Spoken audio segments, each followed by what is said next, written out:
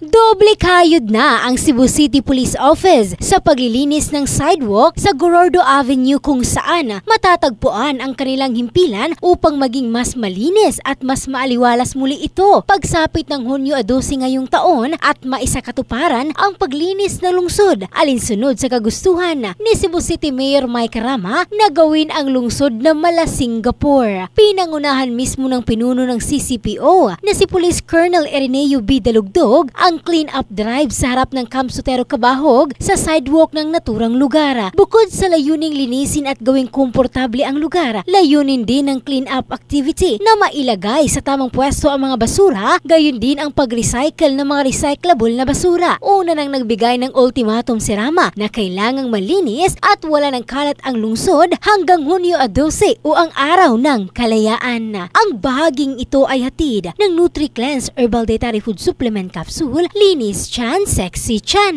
Ito si Michelle Crusty in the Heart of Changing Lives ng Brigada News Philippines, The Music and News Authority.